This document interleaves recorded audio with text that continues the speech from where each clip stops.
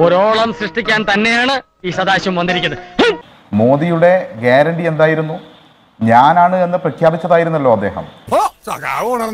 ഞാനെന്ന് പ്രഖ്യാപിച്ച് അവരുടെ പാർട്ടി പോലും അപ്രശസ്തമായി കൊണ്ട് ഞാനെന്ന് പ്രഖ്യാപിച്ച് മോദിയുടെ ഗ്യാരണ്ടി എന്ന് പറഞ്ഞ് മുന്നോട്ട് പോയവർ. വിലപേശലിന്റെ മുന്നിൽ മുട്ടുമടക്കേണ്ടി വരും എന്നുള്ള കാര്യത്തിൽ തർക്കമില്ല. തടയരുത്. വാജ്പേയി ഇതേ മോദിയെ അടിത്തിരുത്തി നടത്തിയ ഒരു പത്രസമ്മേളനം സന്ദീപ് വാര്യർ ഓർക്കേണ്ടതുണ്ട്. അതിൽ മോദിയോട് വാജ്പേയി പറഞ്ഞ വാചകം ഉണ്ടായിരുന്നു രാഷ്ട്രധർമ്മ പാലൻ കരോ എന്ന്. അതുകൂടി സന്ദീപ് വാര്യർ ഓർമ്മിക്കുന്ന നന്നായിരിക്കും. തുടങ്ങിയിട്ടുള്ളൂ. ഞാൻ വേണ്ട വേണ്ടെന്ന് വെച്ചിരുന്നതാ. നിങ്ങൾ ഈ രാജ്യത്ത് കഴിഞ്ഞ പത്ത് വർഷമായി തുടരുന്ന വർഗീയ വലതുപക്ഷ നയങ്ങൾ ഒരു വശത്ത് കോർപ്പറേറ്റുകളെ ഉപയോഗിച്ചുകൊണ്ട് പണമുണ്ടാക്കുക ആ പണത്തിന്റെ ഹുങ്ക് ഹുങ്ക് ഉപയോഗിച്ചുകൊണ്ട് എല്ലാത്തിനെയും കീഴ്പ്പെടുത്തുക പ്രലോഭിക്കുക കൂടെ നിർത്തുക ഇതൊക്കെയാണ് ഒരു വസ്തു ചെയ്തത്. നിന്റെയൊക്കെ തോന്നിയാസം ഇവിടെ ചോദിക്കാനും പറയാനും ആരുമില്ല. ഞാൻ ആരാണോ താമസിയത് നിനക്കൊക്കെ മനസ്സിലാവും മറ്റൊരു വശത്ത് ഭീഷണിപ്പെടുത്തലായിരുന്നു. നിങ്ങളെ സ്നേഹിക്കുന്ന ഏത് കക്ഷിയുണ്ട് നിങ്ങളല്ലാതെ ഈ രാജ്യത്ത്?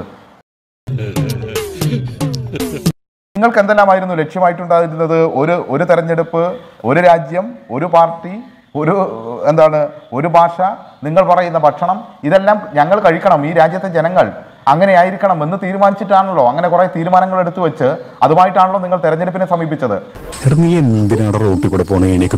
നിങ്ങൾ ഇത്രയും കാലം ഘടകകക്ഷികളെ കൊണ്ടു നടന്നത് എന്തിന്റെ പുറത്താണ്? കുതിരക്കച്ചവടത്തെ നിങ്ങൾ ഓമന പേരിട്ട് ഓപ്പറേഷൻ കമലയാക്കി മാറ്റി. നിങ്ങൾക്ക് സംസ്ഥാനങ്ങളിലെ ഭരണം അങ്ങനെ പിടിച്ചെടുക്കാൻ വേണ്ടി കഴിയും പക്ഷെ രാജ്യഭരണം അങ്ങനെ പിടിച്ചെടുക്കാൻ വേണ്ടി കഴിയില്ല എന്ന യാഥാർത്ഥ്യം നിങ്ങൾക്ക് മനസ്സിലായിട്ടില്ല. അയാൾ എന്താ പറയുന്നേ? ആ എനിക്കറിയാം. എന്തോ കാര്യമായിട്ട് പറയുന്നു. ഇവിടെ ഈ നരേന്ദ്രമോദി വിശ്വഗുരുവാണ് എന്നൊക്കെ പറഞ്ഞു നടന്നത്. നിങ്ങളുടെ കൂട്ടത്തിലുള്ള പലരും തന്നെയാണ്. എന്റെ ജന്മം ഒരു സാധാരണ ജന്മമല്ല. എന്നെ നേരിട്ടയച്ച ദൈവത്തിന്റെ ആളാണ് ഞാൻ. എന്റെ സജീഷ് നിങ്ങളുടെ ചിഹ്നത്തിന്റെ അവസ്ഥ എന്താന്ന് പറ. അത് പിന്നെ ഗോവിന്ദ മാഷ് പറഞ്ഞ പോലെ. നിങ്ങളുടെ ചിഹ്നത്തിന്റെ കാര്യം പറഞ്ഞതുപോലെ ചിഹ്നം. അല്ല അത് ചോദിക്കുന്നേ അവർ ചിഹ്നത്തിന്റെ കാര്യം ചോദിക്കേ. എന്താ ഉറക്കം വരുന്നു? ഞങ്ങൾ പ്രധാനമന്ത്രിയെ ഉണ്ടാക്കാൻ വേണ്ടി ഞങ്ങളുടെ ആശയത്തിനൊന്നും സംഭവിക്കില്ല. ആ ആശയത്തിന്റെയും. ചിഹ്നത്തിന്റെയും.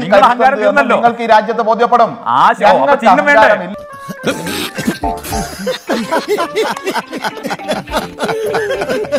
സന്ദീപ് മര്യാദ കാണിക്കും. ഞാൻ കുറെ നേരമായി ക്ഷമയുടെ അങ്ങേ തലയിൽ നിന്നാണ് സംസാരിക്കുന്നത്. നിങ്ങൾ ചോദ്യം നോട് ചോദ്യം ചോദിക്കില്ല. അവരുടെ ചിഹ്നം എന്തായി? അവരുടെ പരാജയം മുഖ്യമന്ത്രി എന്നോട് പ്രതികരിക്കുന്നില്ല. സന്ദീപേ മുഖ്യമന്ത്രി എന്തുകൊണ്ട് തലയിൽ. ഞങ്ങൾ അഹങ്കാരം കൊണ്ട? സന്ദീപേ, ഒരു കാര്യം ഒരു കാര്യം. അല്ല, ചിഹ്നം എവിടെ? ഇങ്ങനെയാണെങ്കിൽ ഞാൻ കളിക്കല്ല? ഞാൻ നേരെ ചിറാപുഞ്ചിയിൽ പോയി മണം വിൽക്കാൻ പോണു. ഒരാളെ പറയാൻ അനുവദിക്കാതെ ആ കാലം കഴിഞ്ഞു സന്ദീപേ ആ കാലം കഴിഞ്ഞു. അല്ല കാലം കഴിഞ്ഞു. അതുകൊണ്ടാണല്ലോ നിങ്ങൾ തോറ്റത്. ഇനി ഇവിടെ നിന്ന് അഴിവണ്ടാവാ നമുക്ക് അങ്ങോട്ട് മാറിയിക്കാം തൽക്കാലം ഇത്രയും മതി. വരട്ടെ.